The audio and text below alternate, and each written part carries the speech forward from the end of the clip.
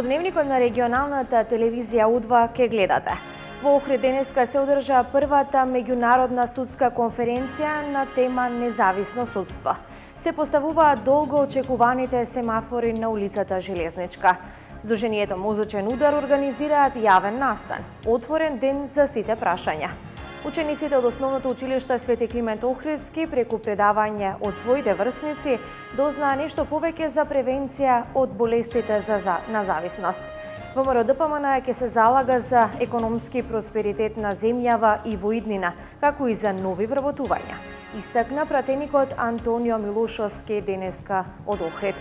Од СДСМ пак порачуваат платите и трошоците на функционерите ќе бидат на увид на граѓаните. Полициската станица од Струга поднесе кривична пријава за кривично дело тешка кражба. Покрај овие во Дневников избор на вести од меѓународниот спорт, но и вести од светот. Започнуваме како и секогаш со трите настани кои го одбележуваат денешниот ден.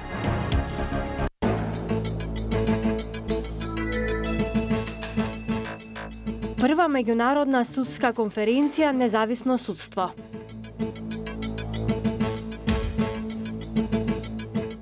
Основното училиште Свети Климент Охридски доби сензорна соба за децата со посебни образовни потреби. Околу Антарктикот ќе биде создаден најголемиот заштитен морски парк. Останете со нас, дневникот на регионалната телевизија од вас започнува во 16 часот и 30 минути.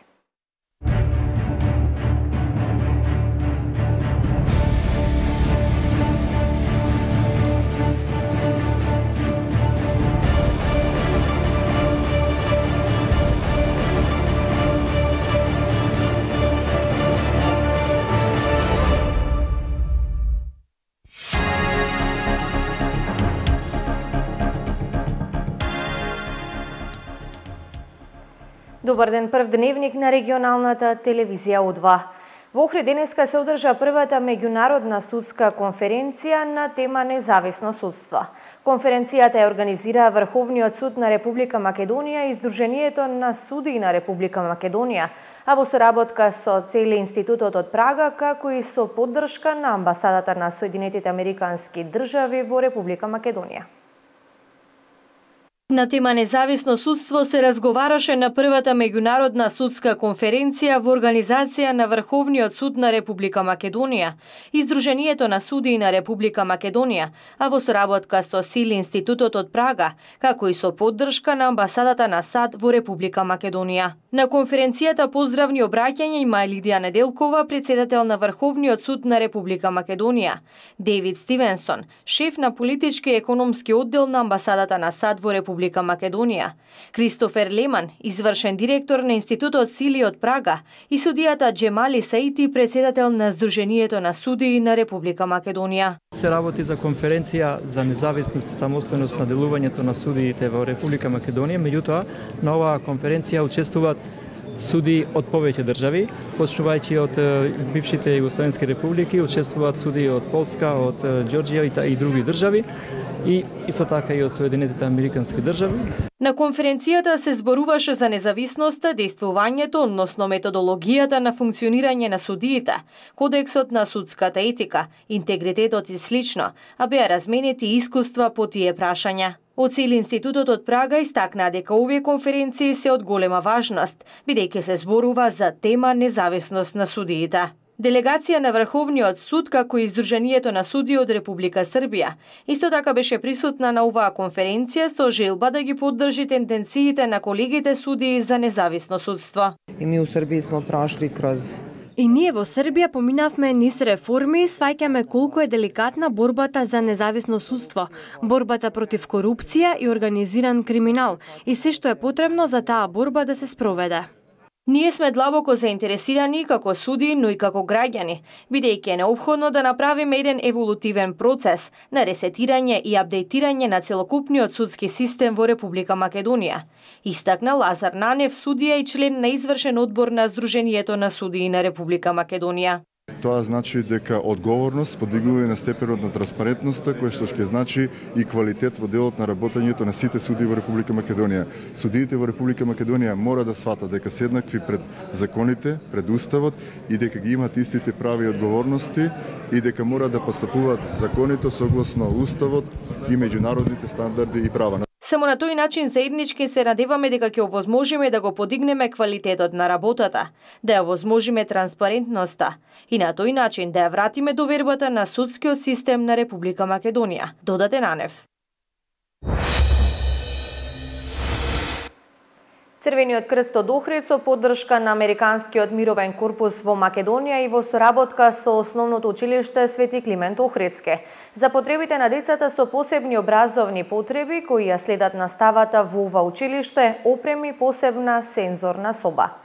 Специфичната опрема и реквизити кои се инсталирани во оваа соба, како и стручниот тим на дефектолози од училиштето и волонтери на Црвениот крст од Охрид кои ќе работи со овие деца, ќе придонесат за поефикасно следење на наставата и олеснување на потешкотиите во психофизичкиот развој кај овие деца. Официјално започна со работа сензорната соба во основното училиште Свети Климент Охридски. Оваа соба е наменета за потребите на децата со посебни образовни потреби кои ја следат наставата во ова училиште. Радова фактот што сензорната соба е веќе спремна и е прва ваква соба во градов и нашата околина. Истакна Јордан Пураски, директор на основното училиште Свети Климент Охридски. Значи, тука ќе може да користат сите ученици од нашето училиште, сензорната соба, значи ќе користат учениците кои што имаат потешкоти, кои што се хиперактивни, кои што имаат емоционален проблеми при емоционалниот развој и така натака. Исто така, значи тука ќе се користат и од учениците од посебните образовни потреби.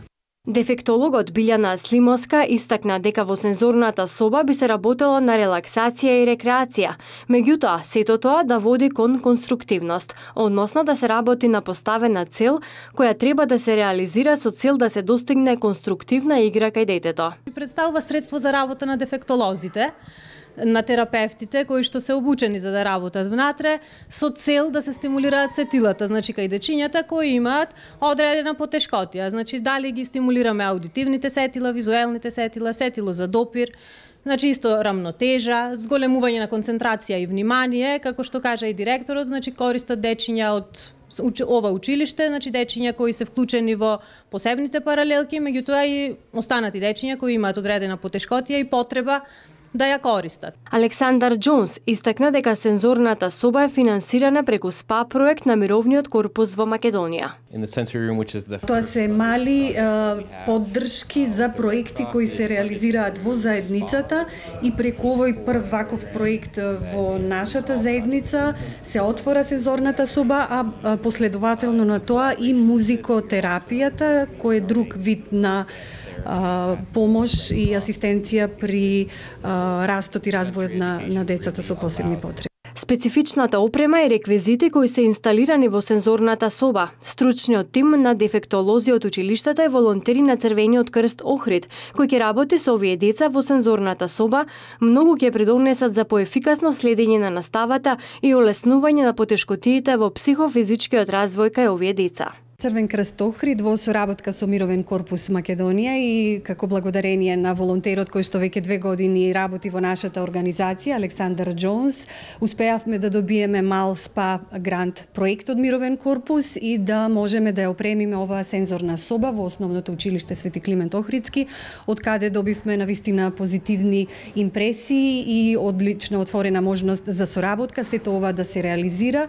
Мимоза Ставрева истакна дека покрај сензорната соба, како продолжение на истиот проект во најскоро време ќе започне со работа и музичката терапија, која ќе се одржува во просториите на Црвениот крст во Охрид. Се поставуваат долго очекуваните семафори на улицата Железничка. Двата семафорски системи по должината на Железничка ќе бидат поставени на двете најфреквентни крстосници. Првата се наоѓа по должината на булеварот Железничка на пресек со улицата Кленоец, а вториот семафорски систем ќе биде на тројната крстосница помеѓу улиците Железничка, Будва и Егејска.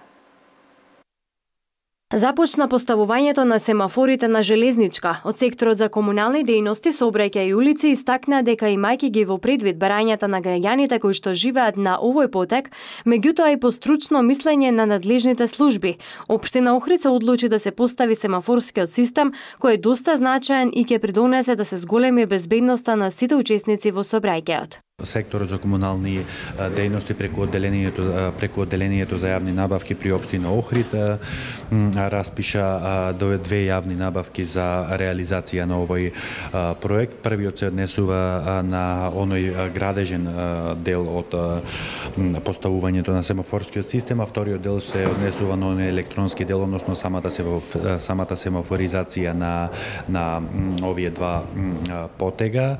Градежните активности ќе ги изведува градежната фирма Боко под село Боровец, а вкупната вредност на тој договор изнесува околу 420.000 денари.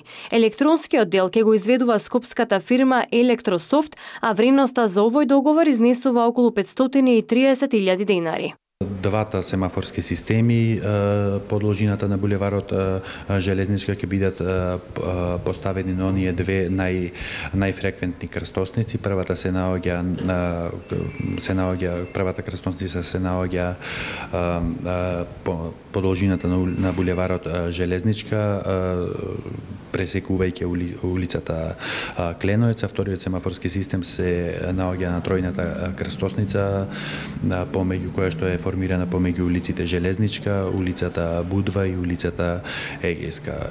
Средствата во целост се обезбедени од буџетот на општина Охрид. Со завршувањето на овие активности, сообраќајот нова фреквентна улица ќе биде далеко побезбеден како за моторните возила, така и за велосипедистите и пешаците. Во рамки на одбележувањето на Светскиот ден за борба против мозочен удар и спроведување на кампањата Мозочниот удар е излечив. Црвениот крст од Охрид и Сдруженијето Мозочен удар организираат јавен настан, отворен ден за сите прашања. Целта е да се презентира здравиот начин на живот и да се представат ризик факторите за мозочен удар на сите посетители, бидејќи во голем процент мозочниот удар може да се спречи.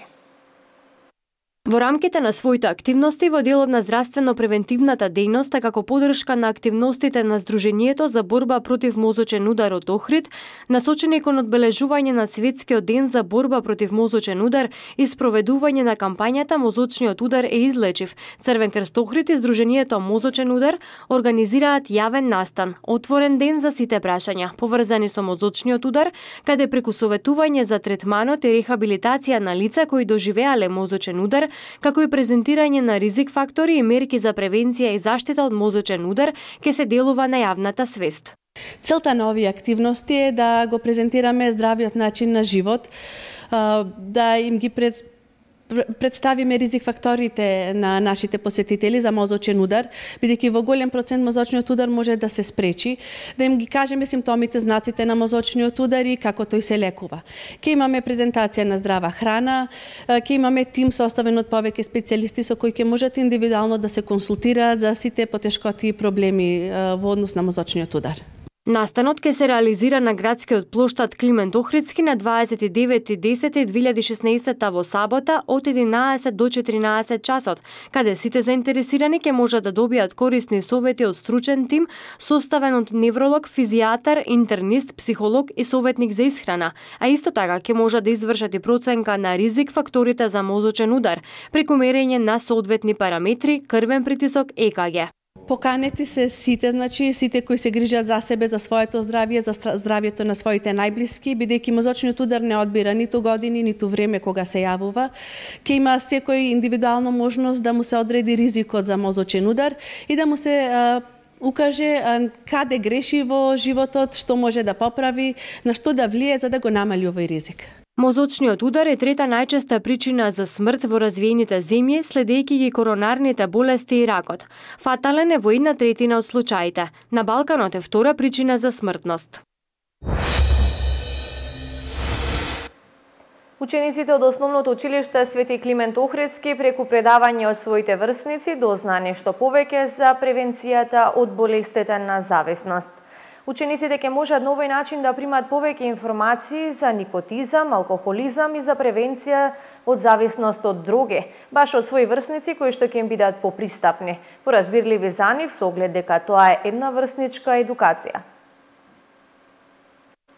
се одржа врсничка едукација на учениците од Основното училиште Свети Климент Охриски. Предавањето е во рамки на проектот Превенција од болести на зависност, каде едуцирани млади ученици кои се волонтери во Црвениот крст вршат едукација на целни групи. Доктор Сонја Стурлакова Димоска истакна дека целни групи се пред се учениците од 8 и 9 оделение во основните, како и прва и втора година од средните училишта.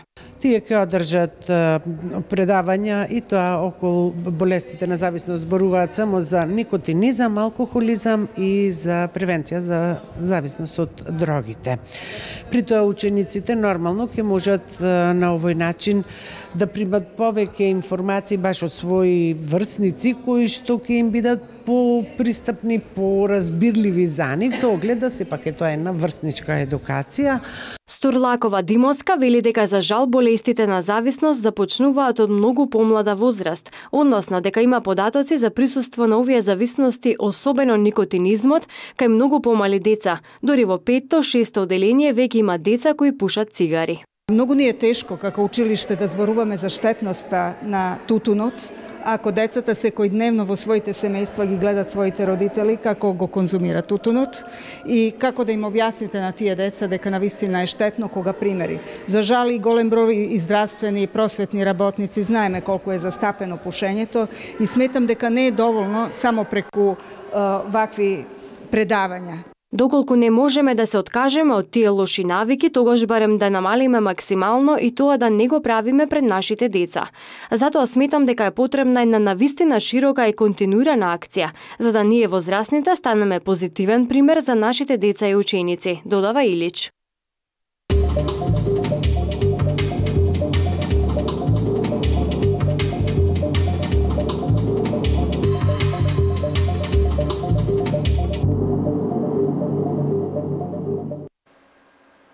На изборите ВМРО ДПМН и СДС имаат крајно спротивни програми. ВМРО ДПМН на изборите ќе се залага за економски просперитет на Македонија, нови инвестиции, нови работни места. Спротивно на нашата програма, СДСМ овие избори сака да ги добие со најавите за двојазичност и федерализација, истакна од Охрид пратеникот Антонио Милошовски. Посетата има една цел, тоа е подготовка политичка за составувањето на програмата на ВМРО ДПМН и да видиме кои потреби економски, инфраструктурни, туристички, образовни и здравствени се потребни за Охрид како град да бидат дел од програмата на ВМРО ДПМН која што веруваме дека ќе биде и владина програма после 11 декември и која што ќе се остварува според зададените рокови. Она што досега имаме да го кажеме е дека успеваме полека но сигурно да го намалуваме бројот на невработени лица и да го зголемуваме бројот на вработувања во Охридската општина, зашто до одредена мерка заслужни се и двете странски инвестиции, ОДВ Електрик и Костал, кои што секој месец имаат по повеќе вработени луѓе. И во следниот период очекуваме да се случи уште една странска инвестиција во Охрид, за која што име не би говорил, но самата компанија, кога ќе ја донесе таа одлука, мислиме дека ќе обзнани на задоволство на сите граѓани. И на крајот тоа што сакам да го споменам е дека во следниот период очекуваме една изборна кампања во која што две политички опции ќе имаат различен настап. ВМРО ДПМН ќе настапува со проекти, со програми, со економија, со нови вработувања како крајна цел, додека партијата која што се труди 10 години да ја превземе власта без волјата на народот, очекуваме да настапува со одредени шпекулации или со нудење на двојазичност и распродажба на други државни и национални интереси како можност да се дограбат до власта која што име крајна цел. Платите и трошоците на функционерите ќе бидат на увид на граѓаните, истакна на пресконференција Рената Тренеска Дескоска, членка на извршниот одбор на СДСМ. Дескоска потенцираше дека ова се дел од мерките кои ќе ги обезбеди СДСМ со цел, како што кажа, да остварат вистинска транспарентност на клучните државни институции. Македонија мора да има институции кои ќе бидат отчетни и отворени кон јавноста. Токму затоа во планот за живот во Македонија се обврзуваме на јавност во трошењето на буџетски средства, истакна на пресконференција Рената Тренеска Дескоска, членка на извршниот одбор на СДСМ.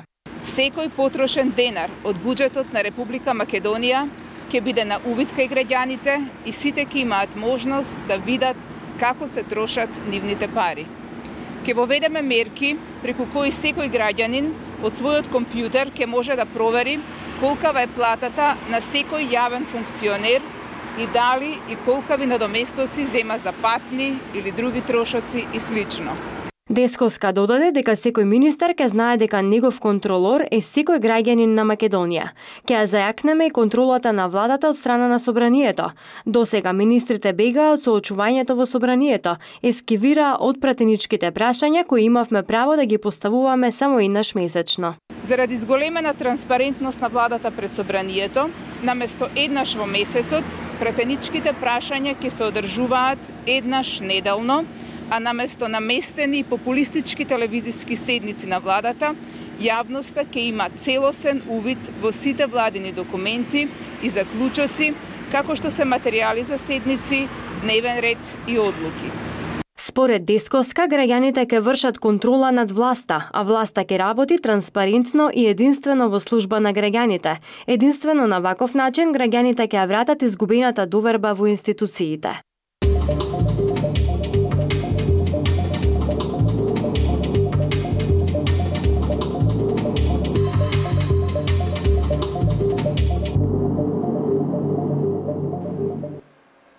Поради постоење основи на сомнение за сторени 13 казнени дела, од кои 5 казнени дела тешка кражба и 8 тешка кражба во обид, полициската станица од Струга поднесе кривична пријава против 22 годишниот Дж и 20 годишниот АМ и двајцата од гостиварското село Дебреше.